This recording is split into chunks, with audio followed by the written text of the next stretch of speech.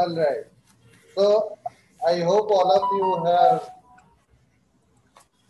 solved this problem which I gave at the end of last class. And uh, the aim of this problem was to demonstrate that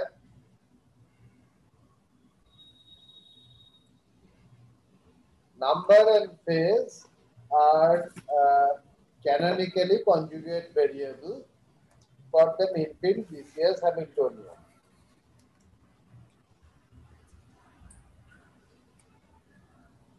Okay, so what does this imply?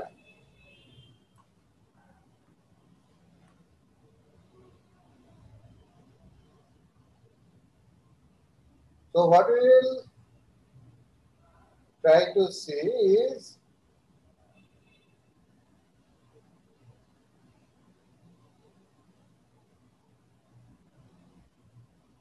how the number phase uncertainty relation affect quantum phase fluctuations. Now, again, just to remember, we are working with this toy model. Two small superconducting islands connected by a link that has all dimensions of the order of xi. All right. So the energy of such a junction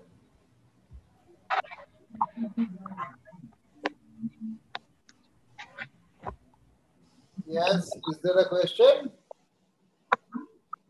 Okay, maybe not. The energy of such a junction is Ej cos theta. That's the Josephson junction energy that we have calculated. But in addition to that, if there is a voltage, I will also have half CV square. This we know is the energy stored in the capacitor. And uh, so note that here I am not assuming a resistor. So the reason for that is that you know that in principle RCSJ should have a capacitance and also a resistance. But since quantum phase fluctuation pertains to very low temperatures, at very low temperatures, I can take to be the normal electrons to be practically negligible. So therefore, I don't need to consider the resistance in series. Of course, if you put in the resistance in series, then uh, there are consequences which are more complex and uh, I will not go into that right now. Okay, so now I have this capacitance of these two islands. So I have to add both of them. So let me see what will I get.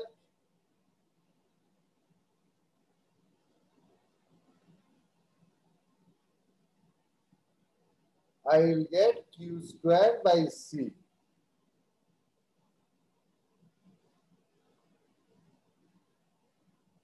And since I have two islands here, actually here the half will come twice, so I don't have to take the half at all. Yes, that's correct. Now, I will use the number phase uncertainty principle, which tells me that the number and the phase are conjugate variables to have the effective Hamiltonian, effective phase dependent Hamiltonian for this system. So you know that Q is uh, nothing but the number of charge that had, uh, sorry, this is the total charge that has gone through this weak link So therefore, if I take q by 2e, that will be the number of Cooper pairs. Okay, this is not C, this is E. The number of Cooper pairs that has gone through this junction. Now, from number phase uncertainty, I know that the number and phase are conjugate variable. So therefore, in the Hamiltonian, I can replace the number as I del del theta. This is exactly the way, for example, I come up with the operator for the momentum. Since position and momentum are conjugate. So therefore, now my Hamiltonian for the system, and this is the Hamiltonian for the phase coordinate. Because the phase is the variable here. That will become uh,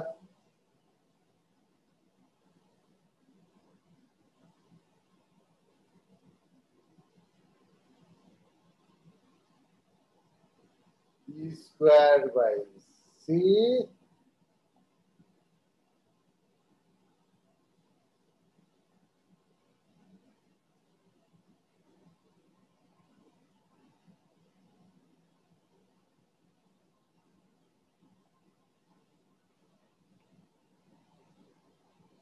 Okay, is everything correct? Probably it is.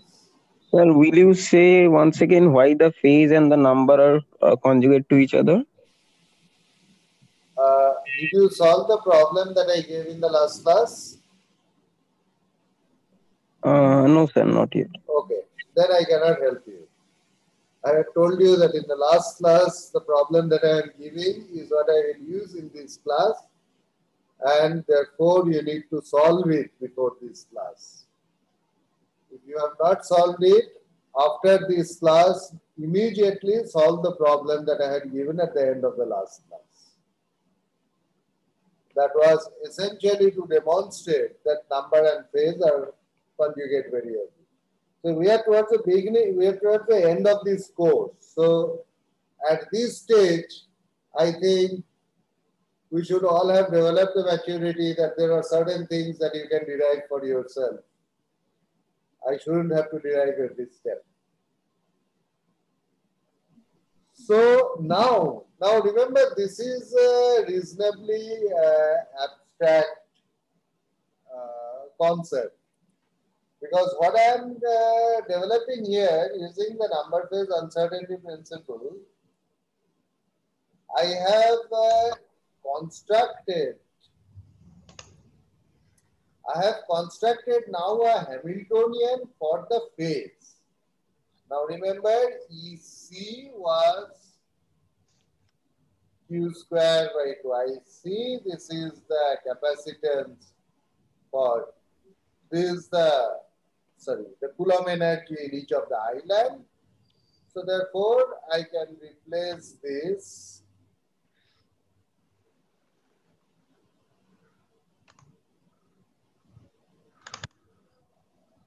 by to ICC.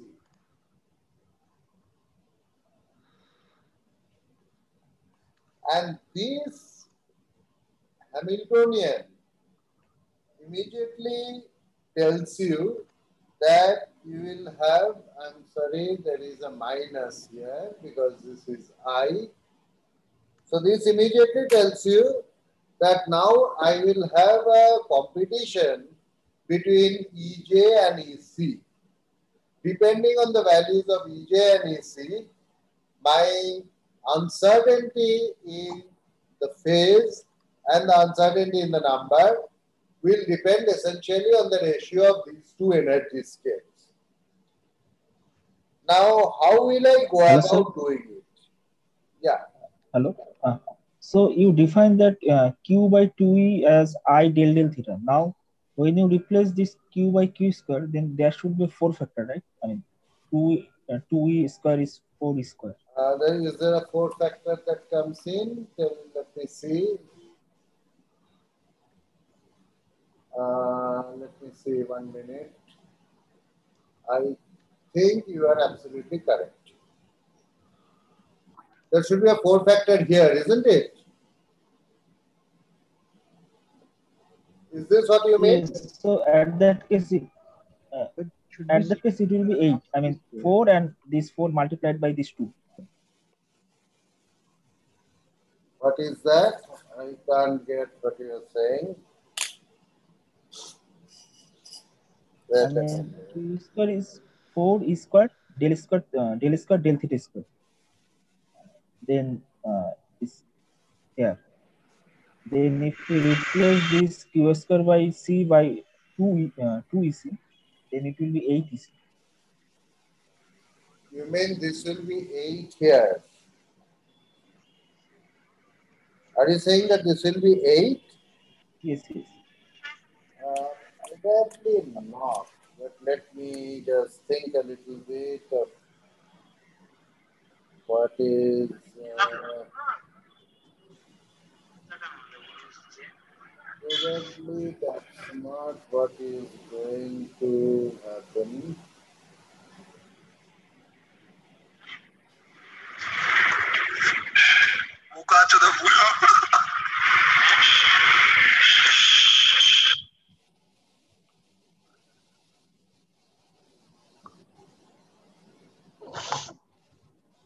Mm, I'm not entirely sure that's going to be the case. Uh, okay, if there is a factor here, so okay, the factor here I think one will have to verify. I'll verify that later on. Things will not depend very strongly on that for the physical argument. For actually the mathematical value, it will. But uh, Right now, let's go ahead with this and I will check later on where this factor is going off.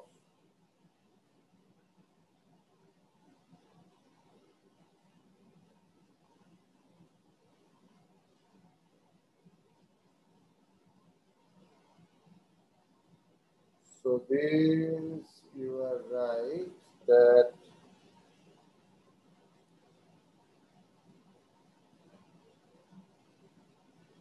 q square will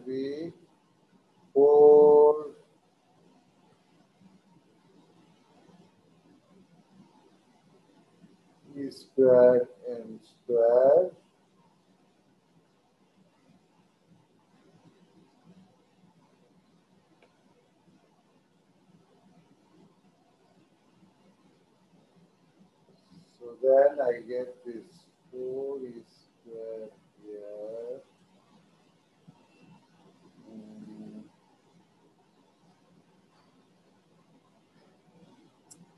Yes, it appears that this should be 8.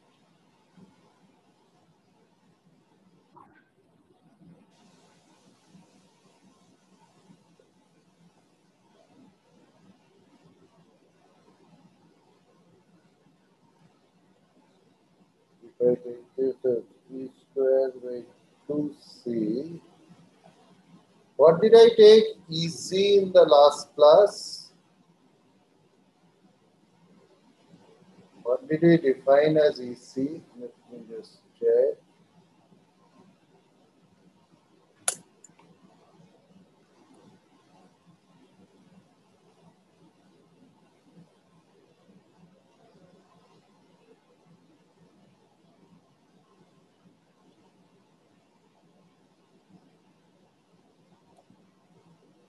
Oh, EC here was Q square IC.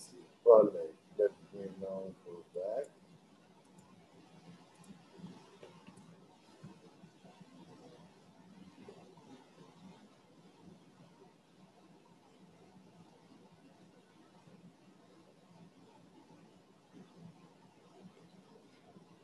Yeah, I think this is right. Okay. Nevertheless, it wouldn't have mattered so much, but it's good to have the prefactors correct. All right. If we take that uh, q square q equal to two e, then at that case, yeah, whatever you written uh, at the first, it should, I mean, it should match, I think. Instead of E, if we write Q equal to 2E, then uh, If I take Q to be 2E, no, what is that? okay. I mean, uh, charge of this Cooper pair. Yeah, Then this will match what, whatever you write at the first. I mean, there will be two S. no, no, whatever you do, it will depend on what you define as EC. Okay. Q is the charge. Yes, yes. So number of Cooper pair is uh, Q by 2E. So that's the number of Cooper pair. So that is what is conjugate with uh, theta. Now, uh, whether you define EC as E square by C or E square by 2C will make the difference.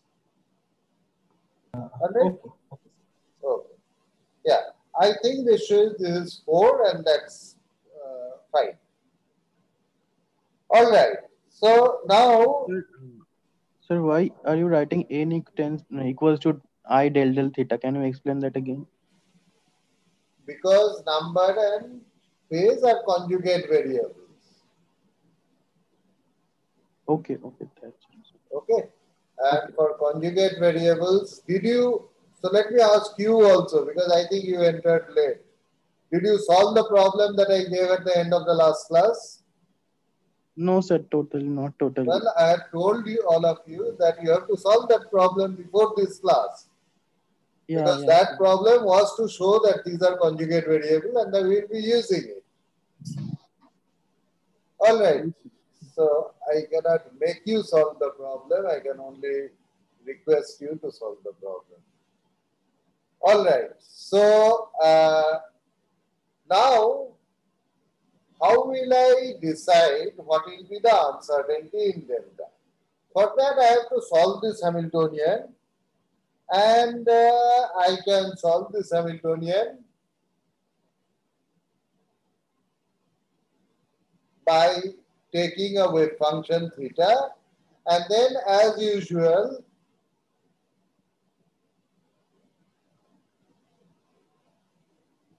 solve for the eigenvalues but what I want is actually not the uh, excited state eigenvalues. I'm not interested right now in the excited state. Uh, I will be happy if I can get the ground state wave function. So I need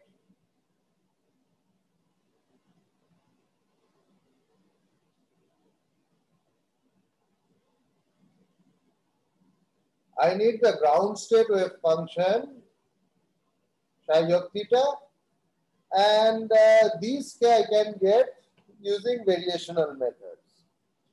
Now, this problem of getting this wave function through variational methods is something that will be the second assignment problem. The first assignment problem was what I have uh, given you yesterday and uh, the second assignment problem will be to solve this vari- uh, this uh, Hamiltonian variationally. What I will be showing here is qualitatively what will happen. So there are uh, two limits that we need to consider. One limit is that, uh, so now if, for example, I plot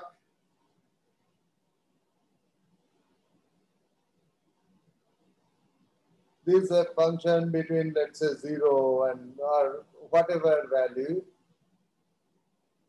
the origin really is unimportant minus pi to pi. And if I see that this uh, wave function is very sharply peaked let's say around some value that means my phase fluctuation is very small. On the other hand, if my phase fluctuation is very large, then I will have, so if my phase fluctuation is just infinitely large, then what I will get is the this wave function will be a constant. So this is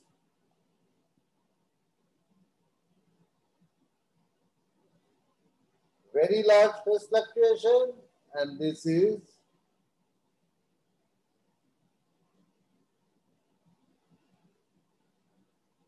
very small phase fluctuation. Now remember here we are only considering the quantum phase fluctuation, not the classical phase fluctuation. The thermal phase fluctuation which we have already considered. So for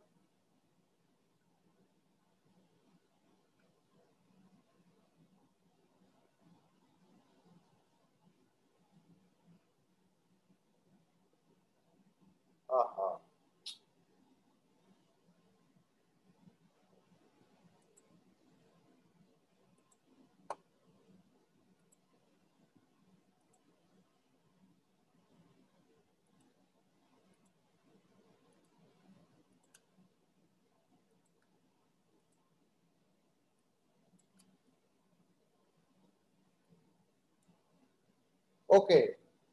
So for EC,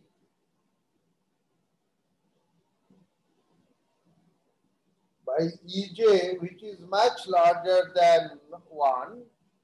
So that means my Coulomb energy is very large. Which limit will I be? Any guess?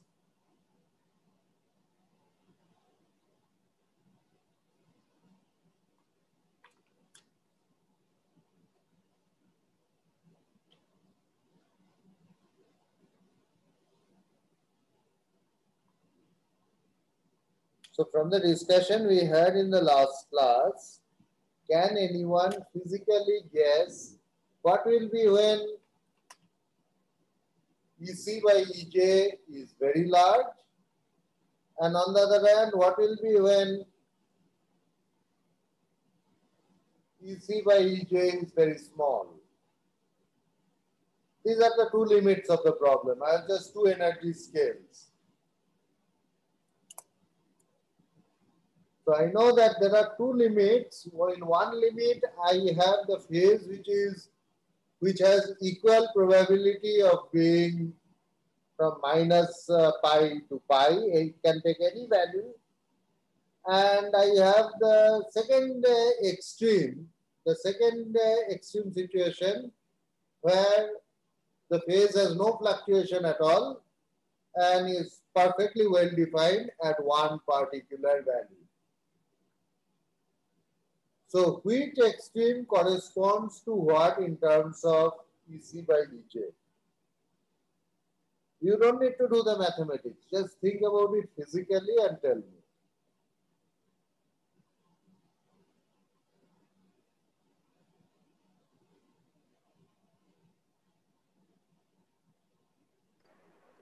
Is the second one correspond to less, uh, less phase fluctuation?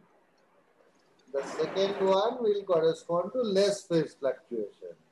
Yeah, so Yeah, so this will correspond to a well-defined phase.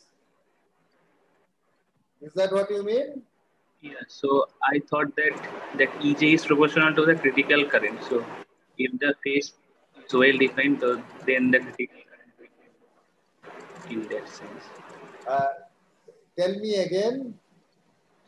I thought that uh, since the Josephson energy is uh, related to the critical current of Josephson junction, so Critical current, yes, Yeah, that's so- correct. if the phase is well defined, the fluctuation is less, EJ should be very Okay. Uh, okay, so the statement that you are making is not wrong, but uh, I think you can make it actually a little bit more accurate than this. You can think in terms of the two energies.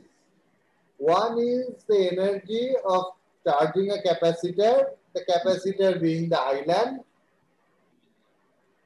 and the second one is the Josephson energy.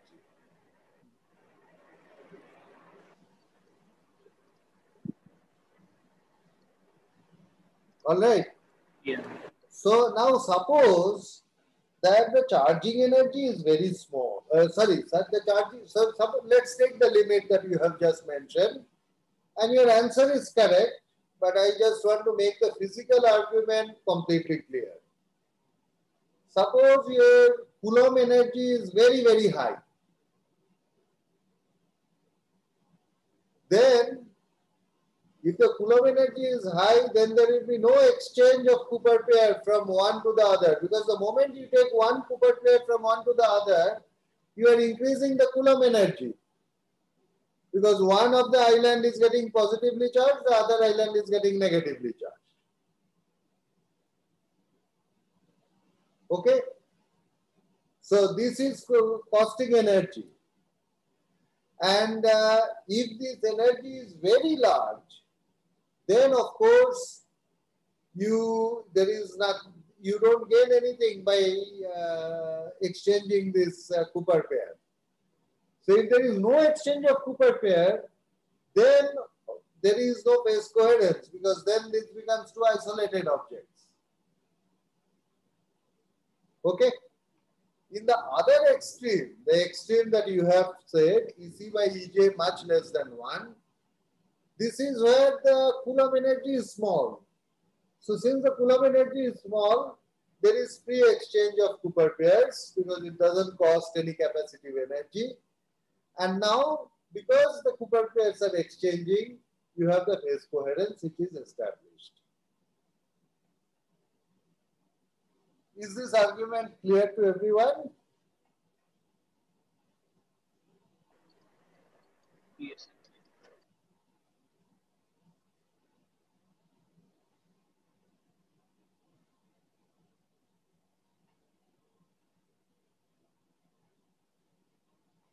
I'd like an answer because if it is not clear, Yes, don't tell me that it's clear.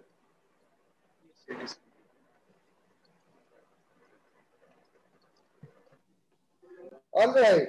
So now this is a linear, it's a one variable differential equation. And uh, you can in principle solve it. And if you solve it, what you get, let me actually plot the solution for you.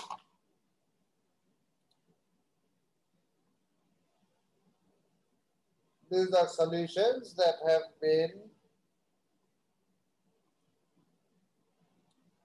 obtained numerically and uh, you guys can all solve it numerically.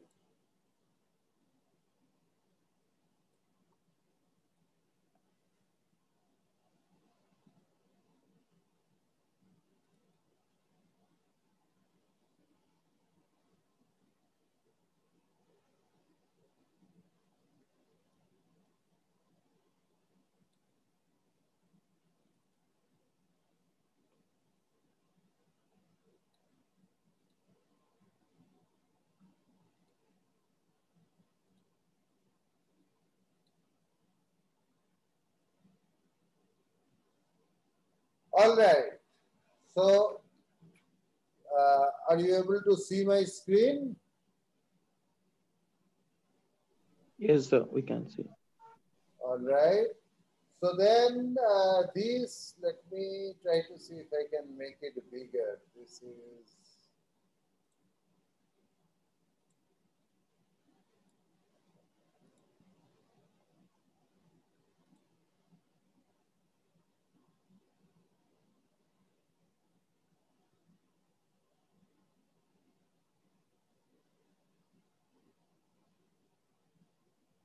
all right. I think this is better.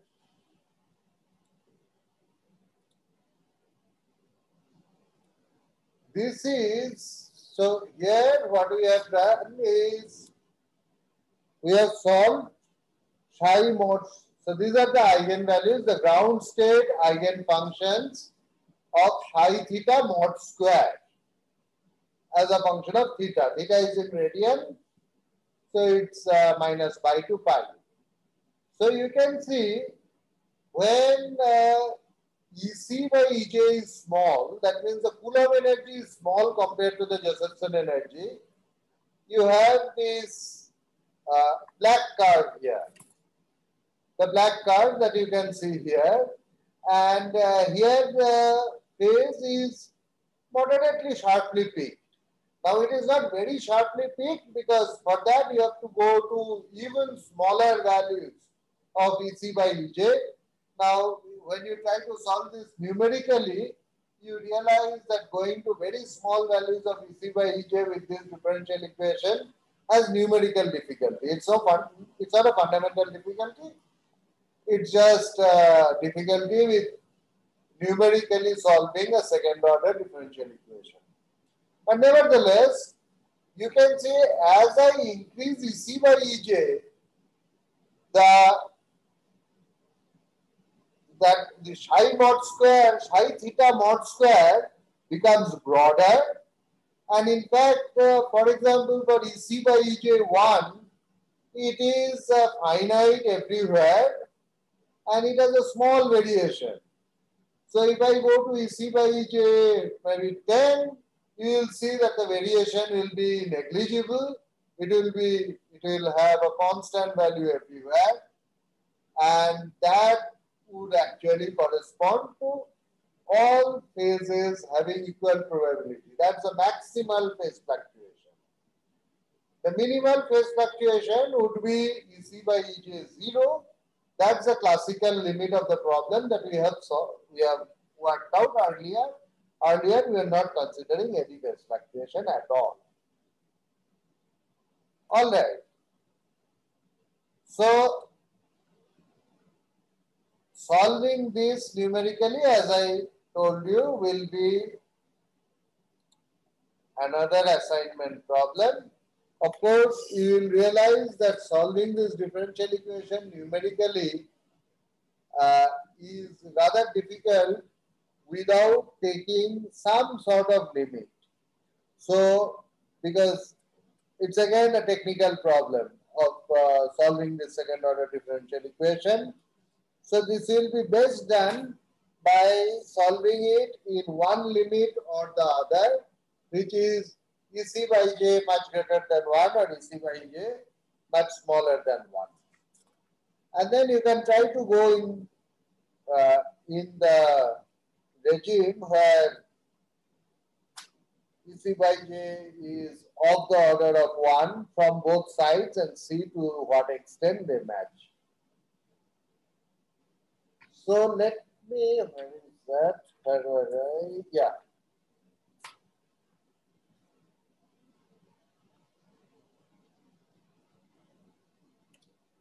Ah, this OneNote is terrible.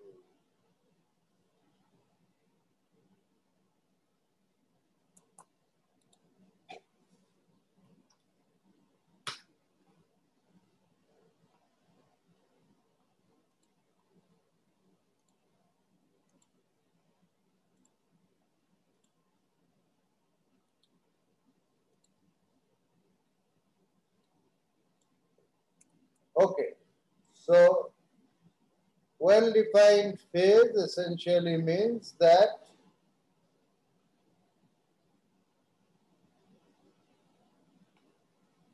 delta theta mod square is much less than 1. Now, the point is in these two cases, as I told you, now before I sort of show you for the rest of the class, I will show you experimental data. But since this is going to be an assignment problem,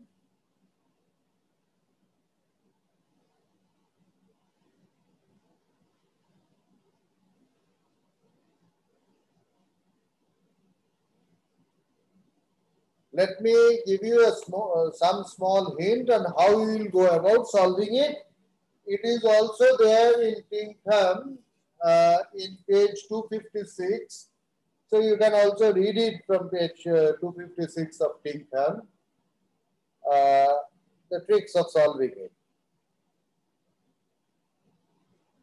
So, uh, in let's say if you take the limit when EC by EJ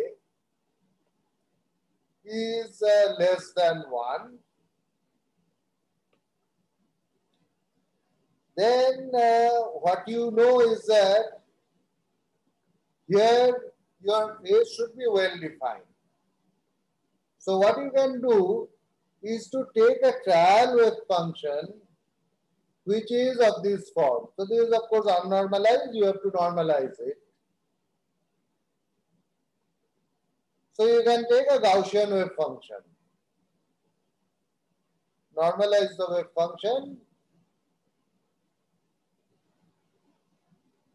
So you take this Gaussian wave function and you know that this will be peak and uh, what will be the width of the Gaussian will essentially depend on this uh, value of sigma.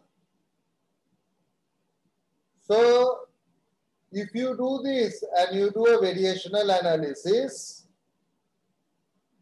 the variational analysis being that you calculate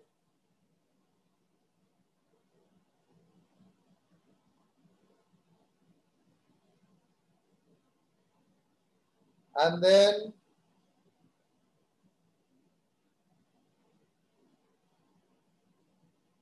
you very variationally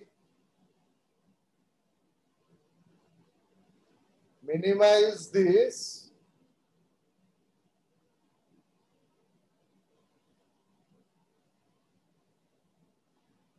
Using sigma as your variational parameter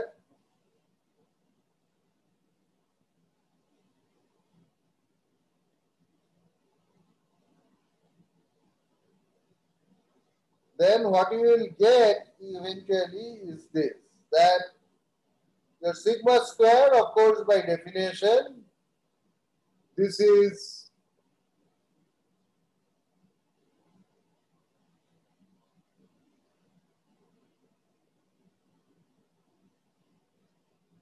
the variance of, uh, this is the variance of theta and uh, or variance of delta theta rather and this will be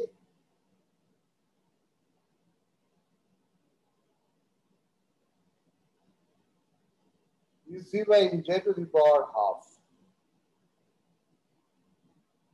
Now you have already derived earlier that ns by ns0 which is also IC prime by IC. That is 1 minus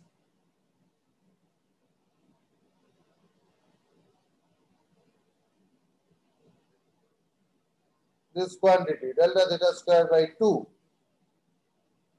So from quantum phase fluctuation, this quantity will get reduced as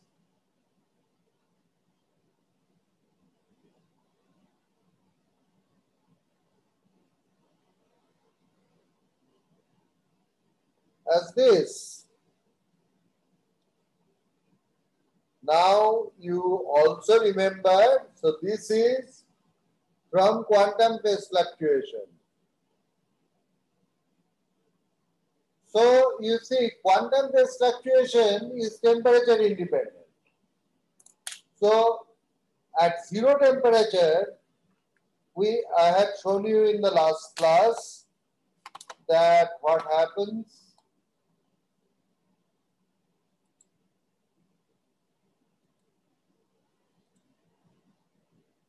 is that instead of this linear T dependence from thermal phase fluctuation extending all the way down to T equal to 0, you start getting here a flattening. So this flattening you are getting because here, why was this linearly increasing? It was linearly increasing because the lower you go in temperature, the less is the thermal phase fluctuation and at T equal to 0, you have no thermal phase fluctuation at all. However, at T equal to 0, you have this quantum phase fluctuation that is independent of temperature. So that is what is now suppressing your superfluid density at T equal to 0.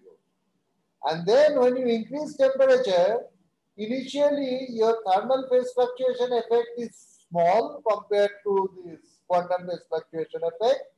And you have something that appears temperature independent. Now this cartoon is not quite exact. It will not be a sharp crossover like this, but as you increase temperature gradually,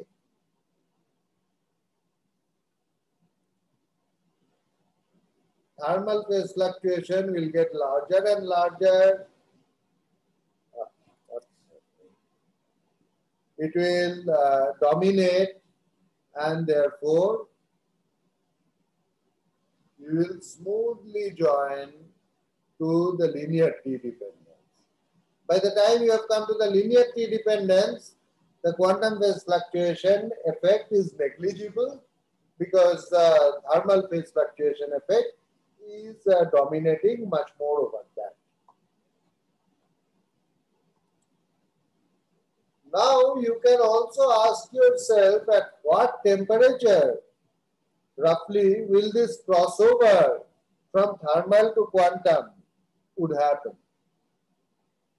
So thermal phase fluctuation, which is also called as classical phase fluctuation, for that we know that this same quantity will become 1 minus half of kT by Ej.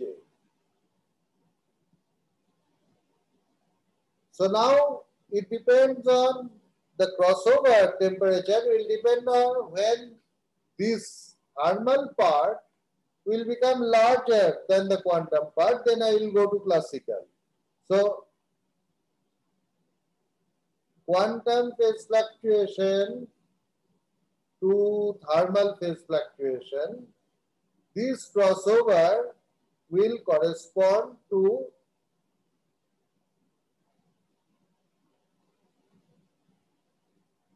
kT by Ej becoming larger than EC by Ej square root. Therefore, the temperature, the crossover temperature, that is of the order of EC into EJ to the power half by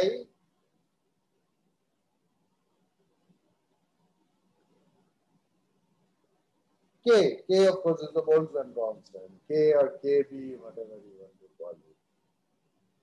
Maybe we'll go with KB so that we don't confuse that with a vector. Now, what is EC by EJ? Sorry, what is EC into EJ square root? So I want you to go back to the Josephson junction initial derivation that we did with RCSJ model.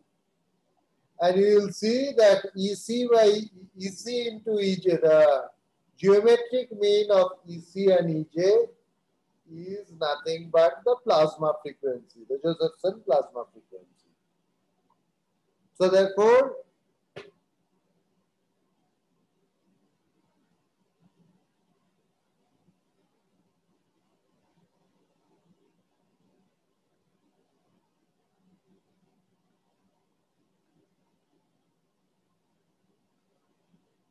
the crossover happens actually at the Josephson plasma frequency. All right. So whatever we have done so far is uh, essentially for one single weak link connecting two small islands. But how do I extend this analysis to let's say a film or let's say a three-dimensional superconductor? So for that actually you have to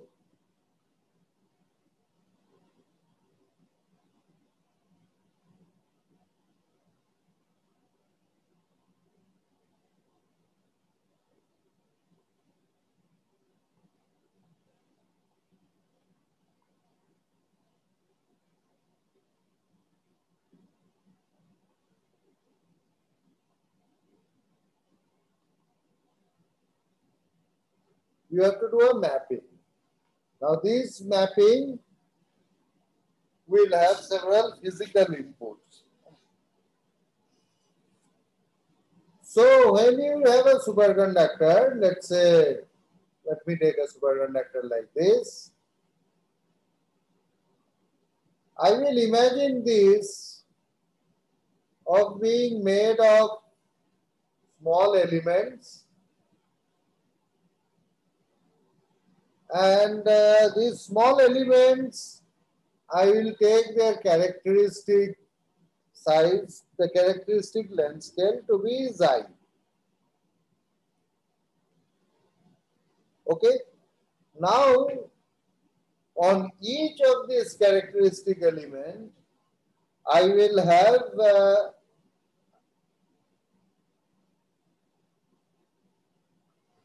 I will define a phase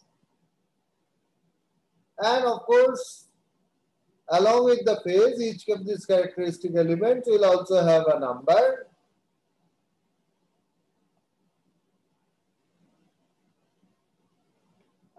that's the number of Cooper pair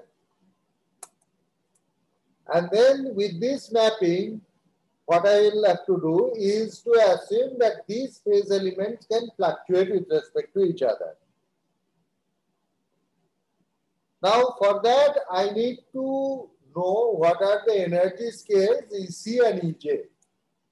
Now EJ is easy as I have shown in the last class. EJ for a continuous superconductor is nothing but the superfluid stiffness J. So that energy scale is quite straightforward. What is the energy scale EC? Okay, so the EC energy scale here will be of the order of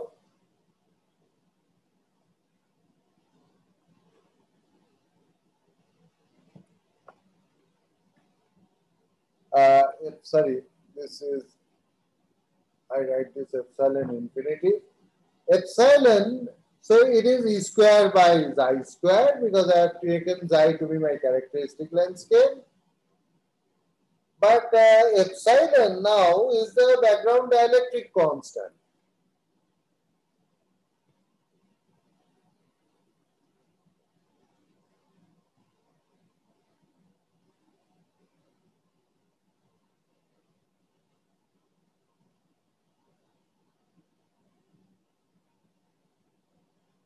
Now, what's the background dielectric constant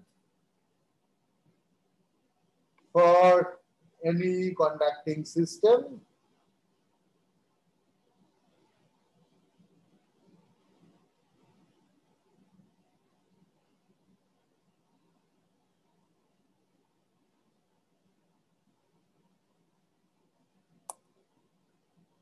Okay.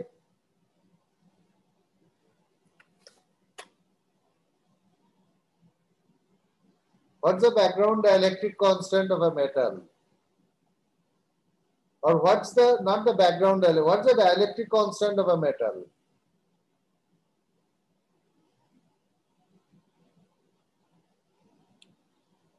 This is just a question of electrostatics. It's not even a question related to superconductivity.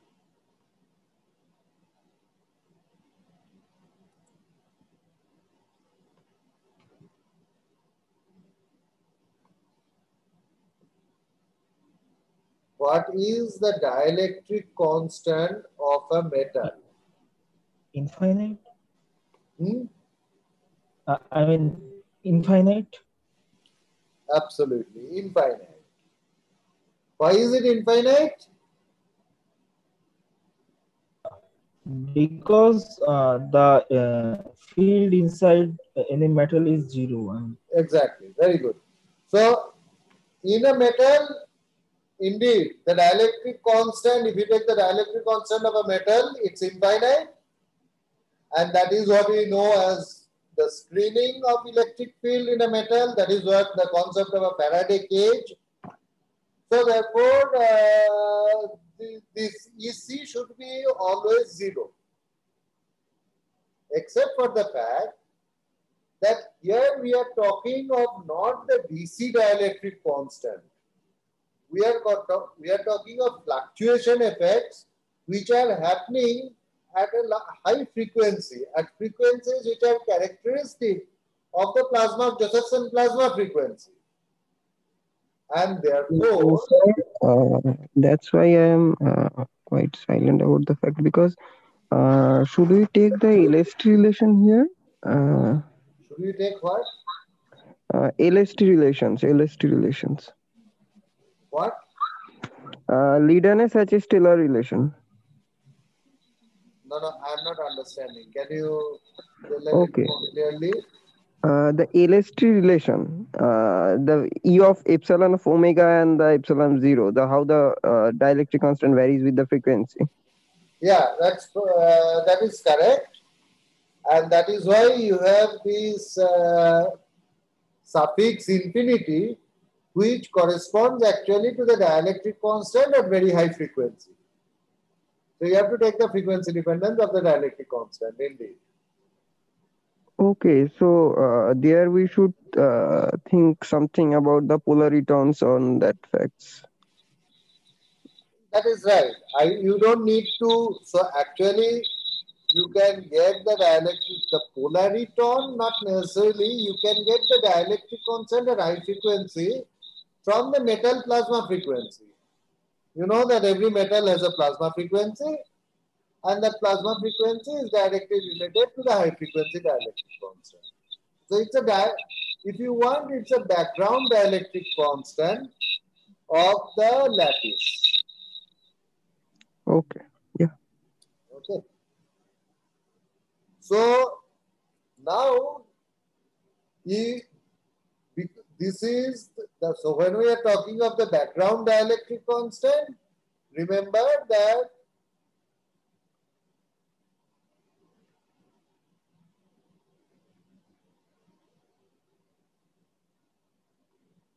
dielectric constant at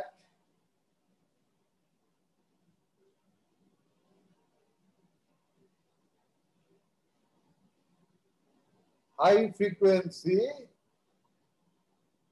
which is directly related to not the Josephson plasma frequency, but the plasma frequency of the normal metal.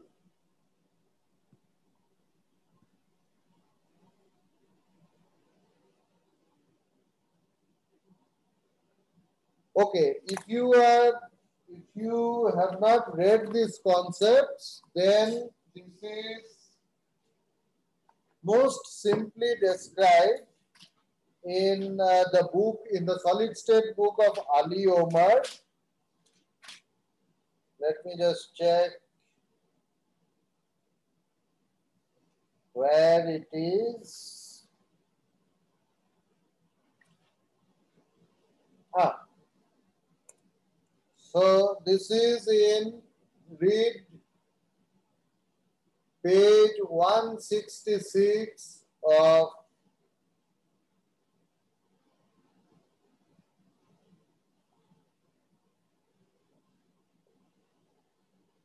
Ali Omar's book on solid state physics, where you will have equation 4.56 so the plasma frequency in a metal, to differentiate it from the Josephson plasma frequency, I put capital omega p here. That is, sorry, carrier density into E squared by the lattice dielectric constant into the effective mass of the electron.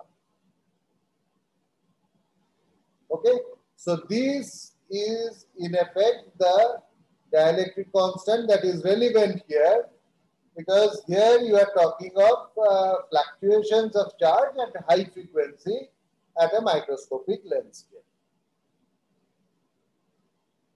Okay, so now once you have uh, put in these, uh, you have calculated these two energy scales, then all the rest of the formula that we have derived essentially remain unchanged except for uh, small factors. Small factors of the order of unity that uh, in because of dimension.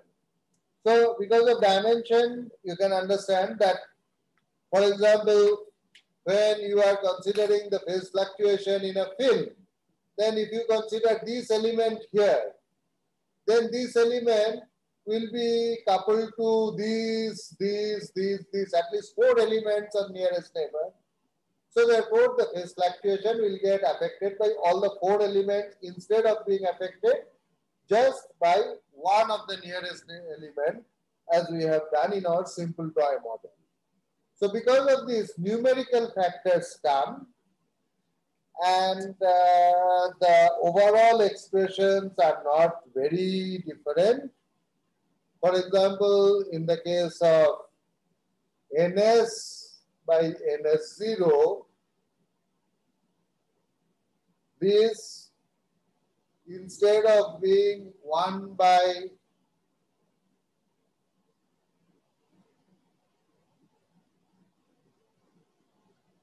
theta square by 2, you also get here 2 into d, where d is the dimension. So in 1d, which is what we have solved, this is 1. In 2d, this 2d, so this is 2, so the denominator becomes 4. In 3d, it becomes 6, and so on and so forth. So similarly, delta theta square uh, has small numerical factors that come in but otherwise things remain essentially the same. So uh, I have exceeded my time. I thought I will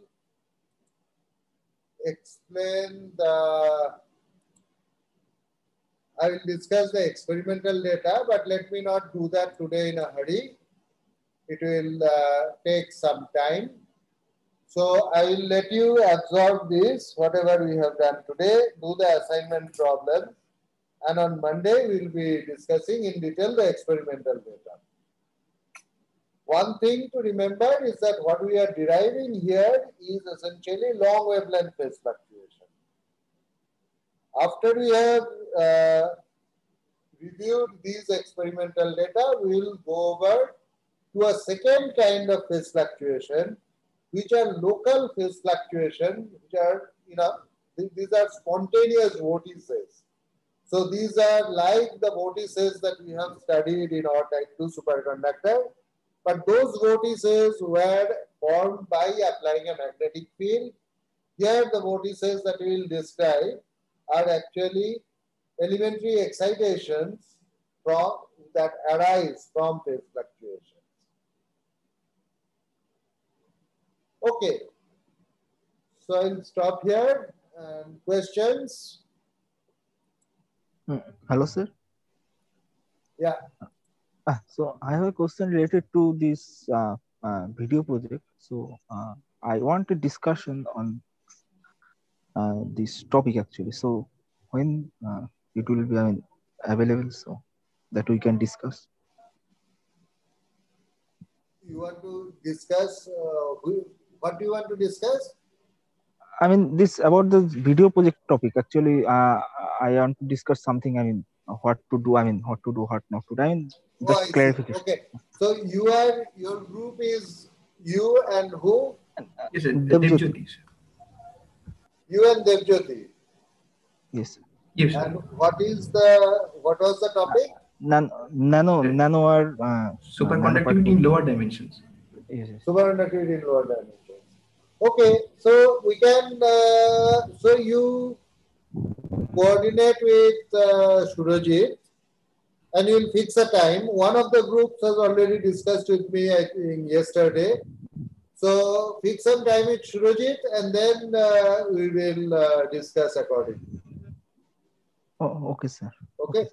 Even uh, tomorrow may be possible, but I, but I want Surajit to also be present. So first uh, fix the time with him.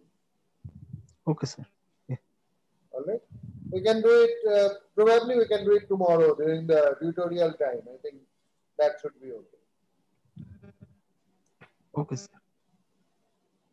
All right. Uh. Hello, sir. Yeah. Yeah, so actually for the assignment seven, I am checking the entire assignment, like all the four problems this time. So, uh, so, uh, uh, so I think it would be better for me if I take the tutorial sometime around next week instead of like tomorrow, because I have a few copies to like the few assignments to check up upon, and uh, owing to experiments, I couldn't like fully check them. So, I would like to take the tutorial sometime next week. Okay, so we can keep the tutorial uh, next week. So please Okay. do us tutorial. This is for seven. Seventh assignment, yes, sir. Yeah. Okay. Seventh assignment. Uh, everyone has submitted the uh, Uh, numerical one.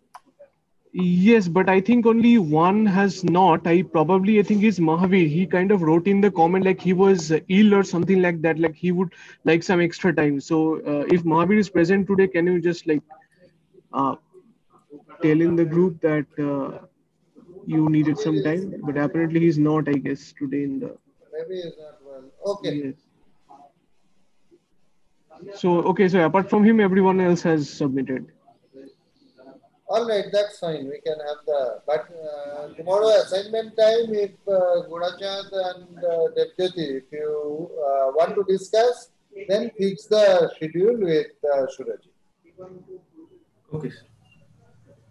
Okay, Joydeep, did you have any question? Sir, about the write-up on the outline. So, as you said, do we have to submit by uh, tonight? Yeah, so I already have gotten uh, from one of the groups, I have gotten it. I think who sent me? Ankush? Uh, maybe Ankush is not here today. He had sent me, yes. So send me the write up. Uh, sir, our part is also uh, complete. The we have also completed the write up, so we will send it by tonight. Yeah. Uh, So whoever has completed the write up, just send it. yes, sir. Actually, Ankush has sent it on behalf of our group, Rahul, Ankush, and Mahavir. Yeah, actually, say, okay. So I have also sent a reply. Uh, the problem is that when you send these mails related to the project, copy to all your uh, collaborators. Uh, yes, sir. Actually, Ankush uh, missed it, and then he realized that he missed it. Okay. So I've he has forwarded. response to Ankush, so I think he will forward it to you. Yeah, he has forwarded us. Yeah, we got it. Okay. Okay. Good. So if there is no other question, we'll log off here and we'll meet again for the class on Monday. So Monday we have a class. Uh, Mon- see, we'll have two classes a week. So let me just check next. I'll tell you the two days uh, in advance so that Tuesday. Yeah, I think it's we'll have a class on Monday and then we'll not have a class on Wednesday. We'll have a class again on Friday. All right, is that a problem with anyone? All right, so we'll uh, log off here.